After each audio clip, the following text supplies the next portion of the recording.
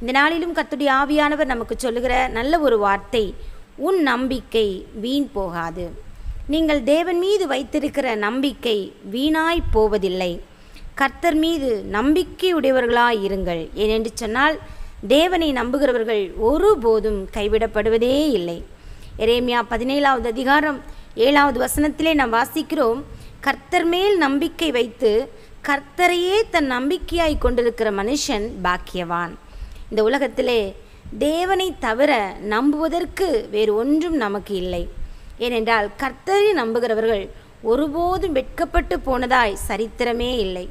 சங்கீதத்திலே நாம் வாசிக்கிறோம் எங்கள் பிதாக்கள் உம்மை நம்பினார்கள் நம்பின அவர்களை நீர் விடுவித்தீர். நம்பி அவர்கள் வெட்கப்பட்டு போகாதிருந்தார்கள். தேவனை நம்புகிறவர்கள் கைவிடப்படுகிறதில்லை தேவனை நம்புகிறவர்கள் வெட்கப்பட்டு போவதில்லை. தேவனை நம்புகிறவருடைய வாழ்க்கையிலே கர்த்தர் மகா பெரிய அற்புதங்களை செய்வதற்கு அவர் வல்லமை உள்ளவராயிருக்கிறார். பாருங்கள் இந்த உலகத்திலே அநேக ஜனங்கள் மனிதர்களை நம்பி ஏமாந்து போன சூழ்நிலையை நம்மால் பார்க்க முடியும். ஒருவேளை நம்முடைய வாழ்க்கையிலே கூட நாம் அநேக நேரங்களில் சில மனிதர்களுடைய வார்த்தைகளை நம்பி மனிதர்களை நம்பி நம்முடைய வாழ்க்கையிலே தோற்று போன காரியங்கள் எத்தனையோ நடந்திருக்கலாம்.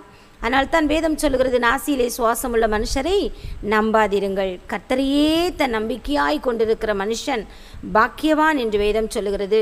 இந்த உலகத்திலே நம்முடைய படிப்பையோ நம்முடைய பணத்தையோ நம்முடைய திறமையையோ நம்ப முடியாது. அப்படி நம்பினவர்கள் எல்லாம் வெட்கப்பட்டு போனார்கள் என்பது நம்ம கண்கூடாக நாம் பார்த்திருக்கிற ஒரு அனுபவம்.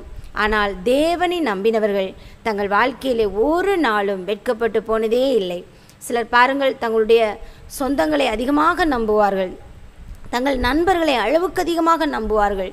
தங்களுடைய குடும்பத்தை அதிகமாக நம்புவார்கள். ஆனாலும் ஏதோ ஒரு கட்டத்திலே மனிதன் மனிதனுக்கு விரோகம் விரோதமாய் துரோகம் பண்ணிவிடுகிற ஒரு சூழ்நிலை காணப்படும் பொழுது சலித்து கொள்வார்கள் வருத்தப்படுவார்கள். எவ்வளவு நம்பினேன் இப்படி என்னை ஏமாற்றி விட்டானே என்று சொல்லி. இதுதான் நம் உலகத்தில் அதிகமாக கேள்விப்படுகிற ஒரு காரியம். ஆனால் கர்த்தரை நம்பினவர்களை குறித்து வேதம் சொல்கிறது நீங்கள் தேவனை நம்பி இருந்தால் உன் நம்பிக்கை ஒரு நாளும் வீண் போகாது. ஹalleluya இன்றைக்கு ஆவியானவர் நமக்கு ஒரு விசேஷித்த காரியத்தை கற்றுக் கொடுக்க போகிறார். தேவ பிள்ளைகளுடைய நம்பிக்கை எதன் மீது இருக்க வேண்டும்? எதை நம்பினால் நாம் ஒருபோதும் வெட்கப்பட்டு போவதில்லை? எதை நம்பினால் அந்த நம்பிக்கை ஒருபோதும் வீண் போவதில்லை?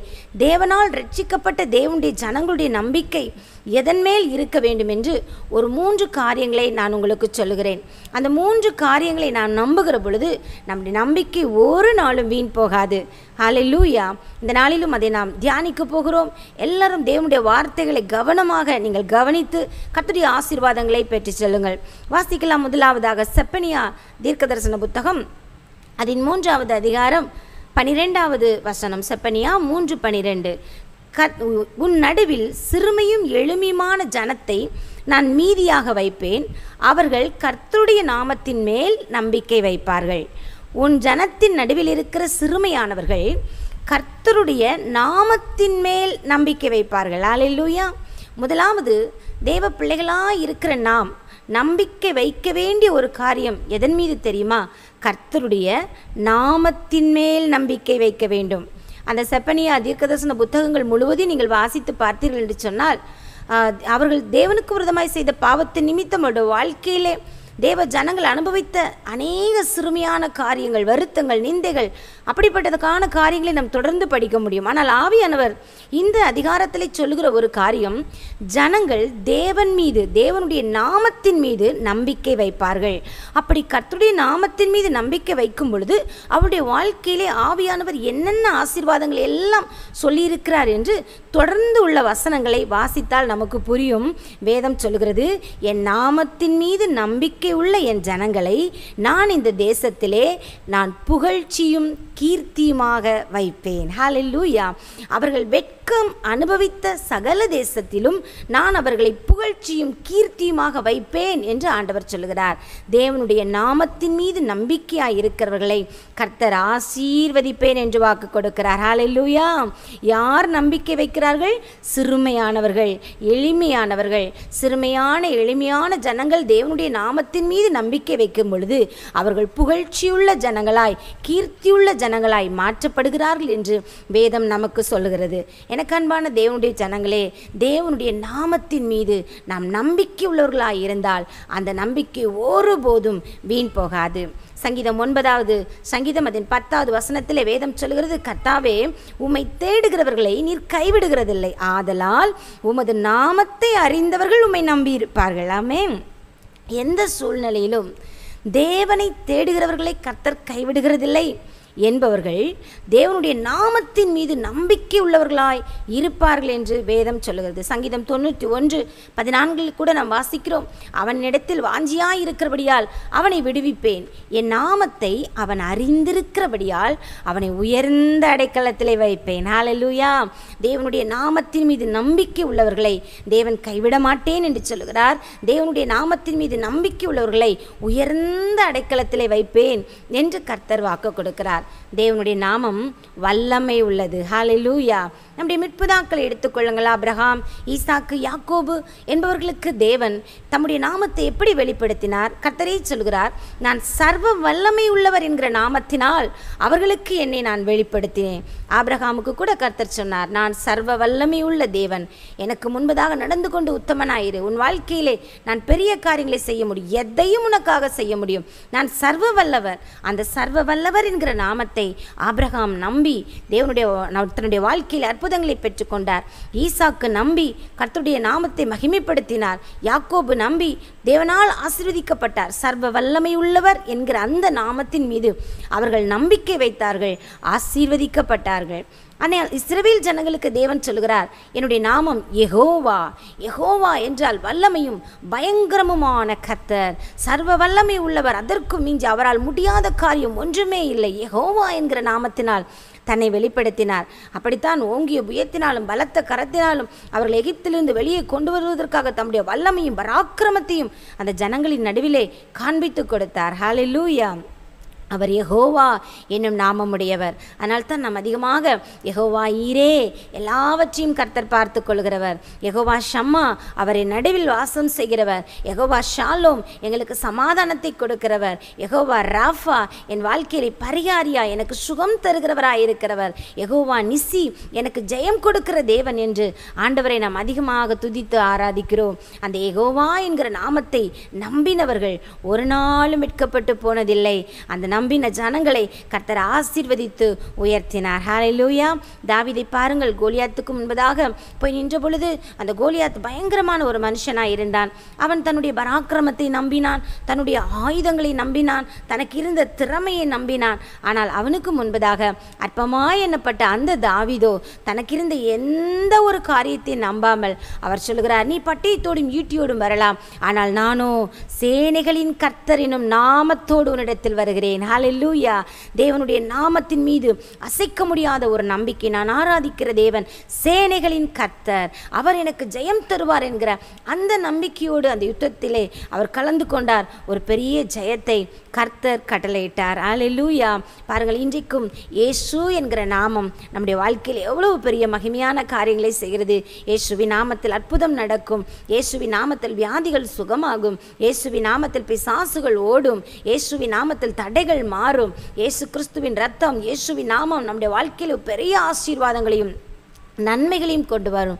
அந்த தேவனுடைய நாமத்தின் மீது நீங்கள் நம்பிக்கை உள்ளவர்களாக இருங்கள். பயப்படாதிருங்கள். உங்கள் நம்பிக்கை ஒருபோதும் வீண் போகாது. ஹalleluya கர்த்தருடைய நாமத்தின் மீது நம்பியிருக்கிற உங்களை கர்த்தர் உயர்த்துவார். உங்களை மேன்மைப்படுத்துவார். உங்களை ஆசீர்வதிப்பார். அதில் எந்த வேணும் ஒரு சந்தேகமும் இல்லை. இரண்டாவது நாம் எதன் மீது நம்பிக்கையாய் இருக்க வேண்டும்? சங்கீதம் பதிமூன்று அதன் ஐந்தாவது வசனத்தில் நாம் வாசிக்கிறோம். நான் உம் உம்முடைய கிருபையின் மேல் நம்பிக்கையாக இருக்கிறேன் ஹalleluya முதலாவது தேவனுடைய நாமத்தின் மீது நாம் நம்பிக்கையாக இருக்கிறோம் இரண்டாவது தேவனுடைய கிருபையின் மீது நாம் நம்பிக்கையாய் இருக்க வேண்டும். ஏனென்றால் தேவனுடைய கிருபையை சார்ந்திருக்கிறவர்கள் கட்டாயம் இந்த உலகத்திலே உயர்த்தப்படுவார்கள் கட்டாயம் ஆசீர்வதிக்கப்படுவார்கள். தாவிதை எடுத்துக்கொள்ளுங்கள். தன்னுடைய எல்லா சூழ்நிலையிலும் தேவனுடைய கிருபையை நம்பி இருந்தார் தேவனும் அவருக்கு வாக்கு கொடுத்தார். என் கிருபையை உன்னை விட்டு நான் விளக்கவே மாட்டேன். உன் சந்ததியை விட்டும்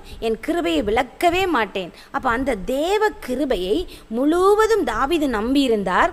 அந்த தேவ கிருபை தான் ஆடுகளை மேய்த்து கொண்டிருந்த அவரை ராஜாவாக மாற்றினது. ஹalleluya தன்னுடைய கிரியைகளினால் அல்ல தாவிது உயர்த்தப்பட்டது. தன்னுடைய திறமையினால் அல்ல தாவிது உயர்த்தப்பட்டது. அவர் நம்பி இருந்த தேவனுடைய கிருபை அவரை உயர்த்திற்று. எனக்கு அன்பான தேவனுடைய பிள்ளைகளே நீங்கள் தேவனுடைய கிருபையை நம்பி இருந்தால் அந்த கிருபை எந்த சூழ்நிலையிலும் உங்களை உயர்த்தும் என்பதற்கு வேதம் நமக்கு அநேக உதாரணங்களை சொல்லிக் கொடுத்திருக்கிறது. பாருங்கள் யோசிப்பினுடைய வாழ்க்கை பார்ப்பீர்கள் என்று சொன்னால் ஆதியாகமம் முப்பத்தி ஒன்பதாவது அதிகாரம் அதன் இருபத்தி ஓராவது வசனத்திலே யோசேப்பை குறித்து வேதம் சொல்கிறது கர்த்தரோ யோசேப்போடு இருந்து அவன் மேல் கிருபை வைத்து சிறைச்சாலை தலைவனுடைய கண்களில் அவனுக்கு தயவிடைக்க உதவி செய்தார்.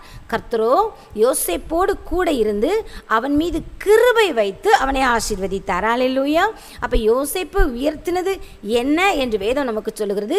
தேவனுடைய கிருபை. அந்த கிருபையை தான் யோசிப்பு நம்பியிருந்தார். இடையில கூட ஒரு சம்பவத்திலே பானபாத்திரக்காரன் என்ற ஒரு மனிதனை யோசிப்பு நம்புவார். ஆனால் அந்த நம்பிக்கை அவரை வெட்கப்படுத்திற்று. ஆனால் நூற்றுக்கு நூறு தேவனுடைய கிருபையை நம்பியிருந்த பொழுதோ அந்த கிருபையின் மீது வைத்திருக்கிற அந்த நம்பிக்கை யோசிப்பை வெட்கப்படுத்தவே இல்லை. தேவன் மீது தேவனுடைய கிருபையின் மீது நம்பிக்கை வைத்த அந்த யோசேப்பை சிறைச்சாலையிலிருந்து சிங்காசனத்திற்கு உயர்த்தி வந்தது. தேவனுடைய கிருபையே என்றால் எந்த சந்தேகமும் இல்லை. லூயா எனக்கு அன்பான தேவனுடைய ஜனங்களே உங்கள் மீது தேவனுடைய கிருபை இருக்கிறது. உங்களுடைய குடும்பத்தின் மீது தேவனுடைய கிருபை இருக்கிறது. ஒருவேளை எனக்கெல்லாம் அவ்வளோ கிருபை இல்லைங்க. நான் கிருபையில் ரொம்ப குறைவாக இருக்கிறேன் என்று சொல்வீர்களானால் ஒரு விசை உங்களை ஆராய்ந்து பாருங்கள். நீங்கள் ரட்சிக்கப்பட்டிருக்கிறீர்களா? ஆம் என்று சொன்னால் நிச்சயமாக கிருபை உங்கள் மீது இருக்கிறது. ஏனென்றால் இந்த ரட்சிப்பு நம்முடைய கிரியைகளினால் நம்முடைய வாழ்க்கையிலே செயல்படவில்லை. நாம் ரட்சிக்கப்பட்டது தேவனுடைய கிருபை என்று வேதம் சொல்லுகிறது. நீங்கள் ரட்சிக்கப்பட்டிருந்தால் தேவனுடைய கிருபை உங்கள் மீது இருக்கிறது. அந்த கிருபையின் மீது நம்பிக்கையாயிருங்கள். அந்த கிருபை உங்களை உயர்த்தும். ஹalleluya பாருங்கள் ரோமர் நான்காவது அதிகாரத்தில் சில வசனங்களை நாம் வாசித்து பார்த்தால் நமக்கு ஆச்சரியமாக இருக்கும். ஆப்ரஹாமின் விசுவாசத்தை குறித்து ஆபிரகாமின் நம்பிக்கை குறித்து வேதம் நமக்கு சொல்லுகிறது. ஆப்ரஹாம் தேவனை விசுவாசித்தான். தேவன் அதை அவருக்கு நீதியாக எண்ணினார். பாருங்கள் கிரியை செய்கிறவனுக்கு வருகிற கூலி கிருபை என்று எண்ணப்படாமல் கடன் என்று எண்ணப்படும். ஒருவன் கிரியை செய்தால் பாவியை நீதிமானாக்குகிறவர் நிமித்தம் நீதிமானாக்குகிறவராகிய கர்த்தரின் மீது விசுவாசிக்கிறவனாய் இருந்தால் விசுவாசம் தான் அவனுக்கு நீதியாக எண்ணப்படும். அப்போ நம்முடைய கிரியை என்பது நம்முடைய திறமை அல்ல நம்முடைய செய்கிற செயல்கள் அல்ல நாம் முயற்சி பண்ணுகிற காரியங்கள் அல்ல. தேவன் மீது வைக்கிற விசுவாசம்தான் கிரியை. அந்த விசுவாசம்தான் நம்முடைய வாழ்க்கையிலே கிருபையை கொண்டு வருகிறது. ஹாலே லூயா எந்த ஒரு ஆசீர்வாதமும் இந்த உலகத்தின் எந்த ஒரு காரியமும் நம்முடைய பலத்தினாலோ நம்முடைய பராக்கிரமத்தினாலோ அல்ல. தேவனுடைய கிருபையினால் நமக்கு கிடைக்கிறது. எந்த ஒரு கிரியைகளினால் நாம் தேவனுடைய நன்மைகளை சுதந்திரித்து கொள்ள முடியாது. தேவன் நம் மீது வைத்த கிருபையினால் ஆபிரகாம் மீது கூட தேவனுடைய கிருபை இருந்தபடினால் தான் தேவன் சொன்னதை அவரால் விசுவாசிக்க முடிந்தது. இன்றைக்கும் கர்த்தருடைய ஆவியானவர் உங்களுக்கு சொல்லுகிறார் உங்கள் மீது தேவனுடைய கிருபை இருக்கிறது. அதனால் தான் நீங்கள் ரட்சிக்கப்பட்டிருக்கிறீர்கள். அதனால் தான் நீங்கள் தேவனுடைய பிள்ளையாய் மாறியிருக்கிறீர்கள். அதனால் தான் இன்றைக்கு கத்துடைய வார்த்தைகளை விசுவாசித்துக் கொண்டிருக்கிறீர்கள். அந்த கிருபையை மட்டும் நம்புங்கள். கிருபை உங்களை உயர்த்தும். கிருபை உங்களை மேன்மைப்படுத்தும். ஹalleluya மூன்றாவது நாம் நம்ப வேண்டிய ஒரு காரியம். சங்கீதம் நூற்றி முப்பது அதன் ஐந்தாவது வசனத்தில் நாம் வாசிக்கிறோம் நான் கர்த்தருக்கு காத்திருக்கிறேன் அவருடைய வார்த்தைகளை நான் நம்பி இருக்கிறேன் ஹalleluya கர்த்தருடைய வார்த்தைகளை நான் நம்பி இருக்கிறேன் ஆமேன் மூன்றாவதாக நாம் நம்பிக்கை வைக்க வேண்டிய ஒரு காரியம் தேவனுடைய வார்த்தை. உங்களோடு கர்த்தர் பல விதங்களிலே பேசியிருக்கலாம். தீர்க்க தரிசனங்களின் மூலமாக பேசியிருக்கலாம். ஒவ்வொரு நாளும் வேதத்தை நீங்கள் வாசிக்கும் பொழுது உங்களோடு பேசி கொண்டிருக்கலாம் உங்களுடைய போதகர்கள் மூலமாக உங்களோடு பேசி கொண்டிருக்கலாம் ஏதாகிலும் ஒரு விதத்திலே கர்த்தர் உங்களோடு பேசி கொண்டிருக்கிறார் ஆண்டுடைய வார்த்தை சொல்வது அந்த வார்த்தையை நீங்கள் நம்புங்கள். அந்த நம்பிக்கை ஒருபோதும் வீண் போகாது. ஹalleluya பாருங்கள் அப்போஸ்தனாகிய பவுல் ஒரு முறை ஒரு கடல் பிரயாணத்தில் போக வேண்டிய ஒரு சூழ்நிலை வந்தது. நமக்கு நன்றாக தெரியும் அந்த நேரத்திலே கடலிலே பயங்கரமான புயல் உண்டாயிற்று. காற்று அதிகமாக வீசினது எதிர்காற்று கொடுங்காற்று கடும் காற்று எல்லாமே வீசி அவர்கள் தப்பி பிழைப்போம் என்கிற நம்பிக்கை அற்று போனவர்களாய் காணப்பட்டார்கள். மற்ற ஜனங்களுக்கு நம்பிக்கையே இல்லை. என்ன செய்வது? அவருடைய திறமையை நம்பினார்கள் கப்பல் மாலுமியை நம்பினார்கள் எதெல்லாம் தன்னுடைய பிரயாசத்தை நம்பி பார்த்தார்கள் ஒன்றுமே அவர்களுக்கு கை கொடுக்கவில்லை. நம்பிக்கை முழுவதும் அற்றுப்போன சூழ்நிலையிலே பவுலோடு கர்த்தர் பேசினார் நீ பயப்படாதே நான் உன் கூட தான் இருக்கிறேன். நீ தைரியமாயிரு. நீ மாத்திரமல்ல உன் கூட இருக்கிற ஜனங்களுக்கும் ஒரு சேதமும் வராது என்று சொல்லி கர்த்தர் பேசினார். கர்த்தர் தம்முடைய வார்த்தைகளை அவருக்கு கொடுத்தார். ஜீவனுள்ள தேவனுடைய வசனம் அவருக்கு நேராக வந்தது. அப்பொழுது பவுல் எழுந்து சொல்லுகிற ஒரு காரியம்.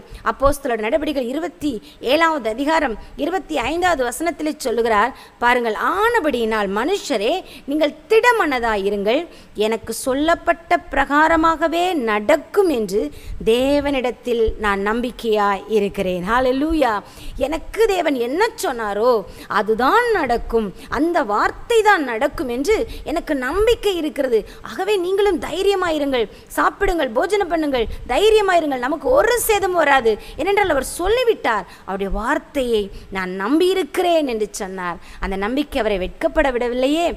லூயா தேவன் உங்களுக்கு சொல்லியிருக்கிறாரா? உன்னை நடத்துவேன் என்று சொல்லியிருக்கிறார். உன்னை உயர்த்துவேன் என்று சொல்லியிருக்கிறார். உங்களை ஆசிர்வதிப்பேன் என்று சொல்லியிருக்கிறார். உங்களை பாதுகாப்பேன் என்று சொல்லியிருக்கிறார். அந்த வார்த்தையின் மீது நம்பிக்கையாயிருங்கள். உங்களுக்கு ஒரு சேதமும் வராது. உங்கள் நம்பிக்கை ஒருபோதும் வீண் போகாது. ஹாலிலூயா ஹாலிலூயா தாவிது கூட ஒரு சங்கீதத்தில் சொல்லுகிறார் கர்த்தாவே நீர் என்னை நம்ப பண்ணின உடைய வசனத்தை நினைத்தருளும். உம்முடைய வார்த்தையை நான் நம்பி இருக்கிறேன் பாருங்க சில நேரங்களில் தேவனுடைய வார்த்தைகளை நம்ம தியானிப்போம் வசனங்கள் வாசிப்போம் சில வார்த்தைகள் நம்மோடு கூட பேசும். அன்றைக்கு அது நமக்கு ஒரு பெரிய தைரியத்தை கொடுக்கும். சில நேரத்தில் சில ஊழியக்காருடைய பிரசங்கத்தை கேட்டுக்கொண்டிருப்போம். கர்த்தர் அவர்கள் மூலமாய் நம்மோடு பேசுவார். அந்த வசனம் நம்மை தைரியப்படுத்தும். அந்த வார்த்தையை நம்புங்கள். கர்த்தர் எனக்கு சொன்னபடி நடக்கும் என்று சுவாசியுங்கள் அந்த நம்பிக்கை ஒரு நாளும் வீண் போகாது. ஹாலிலூயா இசைக்கிய ராஜாக்களின் நாட்களில் பாருங்க ஒரு பெரிய யுத்தம் வந்தது. ஜனங்கள் எல்லாரும் பயந்து போயிருந்தார்கள். தேசம் முற்றுகை போடப்பட்டது. அந்த நாட்களில் அசீரியா ராஜாவின் கைக்கு யாருமே தப்பி போக முடியாது. எல்லாரும் பயந்து கொண்டிருந்தார்கள். இசைக்கிய ராஜாவும் பயந்து கோட்டையை அடைத்து கொண்டு உள்ளே உட்கார்ந்திருந்தார். வெளியே வரவே இல்லை. அப்பொழுது பிரச்சனை பிரச்சனைகள் இப்படி போய்கொண்டிருந்த அந்த ஒரு சூழ்நிலையிலே அந்த அசரியா ராஜாவுடைய சேனை தளபதி ரப்சாக்கே என்கிற ஒரு மனுஷன் எசைக்கியா ராஜாவை பார்த்து ஒரு கேள்வி கேட்கிறார் நீ வைத்திருக்கிற இந்த நம்பிக்கை என்ன? உன் நம்பிக்கை என்ன? நீ யார் மீது நம்பிக்கை வைத்திருக்கிறாய்? எகித்தை நம்பி கொண்டு இருக்கிறாயா? இல்லாவிட்டால் உன்னுடைய படைபலத்தை நம்புகிறாயா? எங்களுக்கு விரோதமாக இவ்வளோ தைரியமாக நிற்பதற்கு உனக்கு இந்த நம்பிக்கை எங்கிருந்து வந்தது? யார் மீது நீ நம்பிக்கை வைத்திருக்கிறாய்? என்று அந்த எசேக்கியாவை பரியாசம் பண்ணுகிற அந்த காரியங்களை நாம் வேதத்திலே வாசிக்க முடியும். ஆனால் எசேக்கியாவோ அமைதியாக இருந்தார். அவர் தேவனுடைய வார்த்தையின் மீது நம்பிக்கை வைத்திருந்தார். ஏன் தெரியுமா? எதிரியானவன் இந்த காரியத்தை அவருக்கு விரோதமாய் சொன்ன பொழுது அவன் ஏசாயா தீர்க்கதரிசி தேடி ஓடுகிறார். ஏசாயா தேவனுடைய சமூகத்திலே காத்திருந்து அவருடைய வார்த்தைகளை பெற்று எசேக்கியாவுக்கு சொல்லுகிறார். தைரியமாயிரு பயப்படாதே. கர்த்தரன் பார்த்துக்கொள்வார். எல்லாவற்றையும் நான் பார்த்துக்கொள் என்று சொல்லியிருக்கிறார். தைரியமாயிரு என்று சொன்னார். தேவன் ஏசாயாவோடு பேசினார். ஏசாயா தேவனுடைய வார்த்தை எசேக்கியாவுக்கு சொல்லுகிறார். அந்த வார்த்தையை எசேக்கியா நம்பினார். அல்லேலூயா ஆமாம். தொடர்ந்து நீங்கள் வேதத்தில் ரெண்டு நாளாகமும் முப்பத்தி ரெண்டாவது அதிகாரம் அந்த எட்டாவது வசனத்தில் பார்த்தீங்கன்னா எசேக்கியா ராஜா என்ன சொல்வாரோ என்று சொல்லி ஜனங்கள் எல்லாரும் அவருடைய முகத்தை பார்த்து கொண்டு இருக்கிறார்கள் எசேக்கியா வந்து ஒரு காரியத்தை சொல்கிறார் நீங்கள் பயப்படாதீங்க. அவர்களோடு இருக்கிறது மாம்சபலம். நம்மோடு இருந்து நம்முடைய யுத்தத்தை நடத்துகிறது நம்முடைய தேவனாகிய கர்த்தர். அவர் சொல்லியிருக்கிறார் நான் யுத்தத்தை நடத்துவேன் என்று சொல்லியிருக்கிறார். ஆகவே நீங்கள் பயப்படாதிருங்கள் என்று எசைக்கியா ஜனங்களுக்கு சொன்னார். வேதம் சொல்கிறது எசைக்கியா சொன்ன வார்த்தைகளின் மீது ஜனங்கள் நம்பிக்கை வைத்தார்கள். ஏசா ஏசாயா சொன்ன தேவனுடைய வார்த்தையின் மீது எசேக்கியா நம்பிக்கை வைத்தார். எசேக்கியா சொன்ன கர்த்துடைய வார்த்தையின் மீது ஜனங்கள் நம்பிக்கை வைத்தார்கள். சரித்திரம் நமக்கு தெரியுமல்லவா? கர்த்தர் யுத்தம் செய்து எதிரிகளை சிதறடித்தார். எசேக்கியாவின் நம்பிக்கை வீண் போகவில்லை. ஜனங்கள் வெட்கப்பட்டு போகவில்லை. எனக்கு அன்பான தேவனுடைய பிள்ளைகளே இந்த நாளிலும் பரிசுத்த ஆவியானவர் உங்களோடு கூட பேசி கொண்டிருக்கிறார். அநேக தேவனுடைய ஊழியக்காரர்கள் மூலமாக உங்களோடு பேசுகிறார். அநேக தீர்க்கதரிசிகளின் மூலமாக உங்களோடு பேசுகிறார். இந்த நாட்களில் எத்தனையோ வருத்தத்தோடும் வேதனையோடு நீங்கள் தேவனுடைய சமூகத்தில் வந்திருந்தாலும் ஏதாகிலும் ஒரு விதத்தில் கர்த்தர் உங்களோடு பேசுகிறார் அல்லவா? அந்த வார்த்தையின் மீது நம்பிக்கை வையுங்கள். உங்கள் நம்பிக்கை ஒருபோதும் வீண் போகாது. ஹாலை லூயா அந்த அன்று அண்ணாள் தேவனுடைய ஆலயத்துக்கு கடந்து வந்த பொழுது அவள் தேவனுடைய சமூகத்திலே தன்னுடைய இருதயத்தெல்லாம் ஊற்றினார் அங்கிருந்து அந்த ஆசாரியன் அவளை பார்த்து ஒரு வார்த்தை சொன்னார்.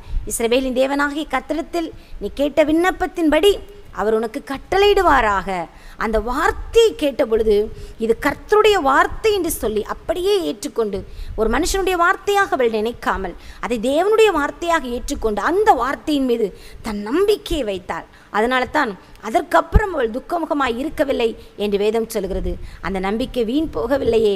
கர்த்தர் அவள் தேவனுடைய வார்த்தையை நம்பின அவளை ஆசிர்வதித்தார் நினைத்தருளினார் கடாட்சித்தார். அவள் வேண்டிக் கொண்ட அற்புதத்தை அவளுக்கு செய்தார். ஹாலி லூயா தேவனுடைய வார்த்தையின் மீது நம்பிக்கை வையுங்கள். வார்த்தையில் இருக்கிற வல்லமையை புரிந்து கொள்ளுங்கள். உங்களோடு பேசின ஒரு வார்த்தையும் வீண் போகாது. அவர் உங்களுக்கு என்ன சொன்னாரோ அப்படியே நடக்கும். பவுல் சொல்லுகிறது போல எனக்கு சொல்லப்பட்ட பிரகாரமாகவே நடக்கும் என்று அவர் மீது நான் நம்பிக்கையாக இருக்கிறேன். சூழ்நிலைகள் எப்படி வேண்டுமானாலும் இருக்கலாம். பிரச்சனைகள் நம்முடைய நம்புவதற்கு ஏதுவில்லாதது போல் இருக்கலாம். நம்முடைய விசுவாசத்தை அசைக்கக்கூடியதாக இருக்கலாம். பிரச்சனைகள் எதுவாக இருந்தாலும் தேவன் மீது உங்களுடைய நம்பிக்கையை வைத்து கத்தருக்கு காத்திருங்கள். நீங்கள் ஒருபோதும் வெட்கப்பட்டு போவதில்லை. ஹாலி லூயா எனக்கு அன்பான தேவனுடைய ஜனங்களே நிச்சயமாகவே முடிவு உண்டு.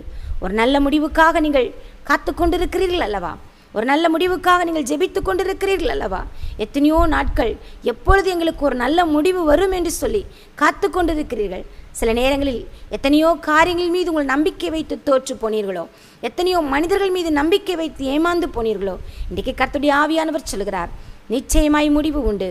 உன் நம்பிக்கை வீண் போகாது. ஹalleluya தேவனுடைய நாமத்தின் மீது தேவனுடைய வசனத்தின் மீது தேவனுடைய கிருபையின் மீது நம்பிக்கை வைத்திருக்கிற நீங்கள் ஒரு நாளும் வெட்கப்பட்டு போவதில்லை.